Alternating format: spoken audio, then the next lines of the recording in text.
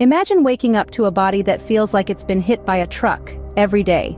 This is the reality for many people with fibromyalgia. Now, you may ask, what is fibromyalgia? In simple terms, fibromyalgia is a long-term condition that causes pain all over the body. But it's more than just body aches and sore muscles. It's a chronic disorder marked by widespread musculoskeletal pain, debilitating fatigue, and tenderness in certain areas. Fibromyalgia is a silent intruder that affects between 2 to 8% of the population, with women being most commonly affected.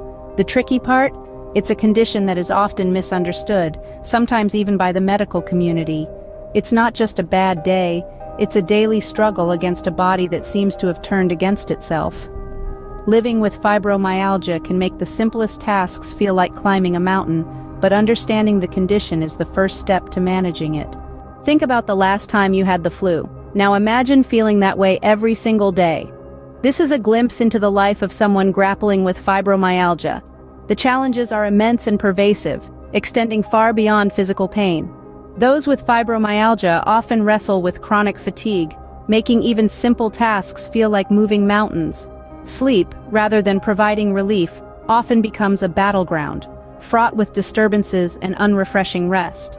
Cognitive difficulties, often referred to as fibrofog, add another layer of complexity, making concentration and memory recall a strenuous effort.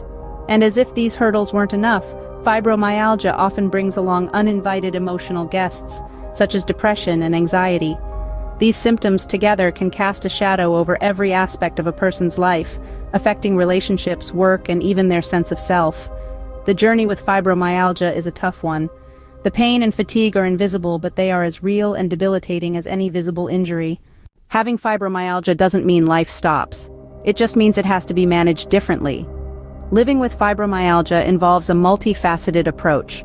Lifestyle changes can play a significant part in managing symptoms.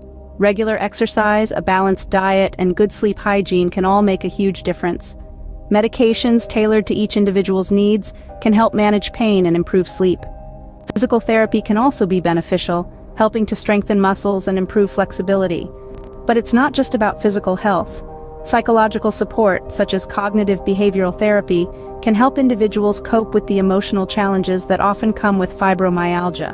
Yet one of the most crucial aspects of managing this condition is the understanding and support from family and friends.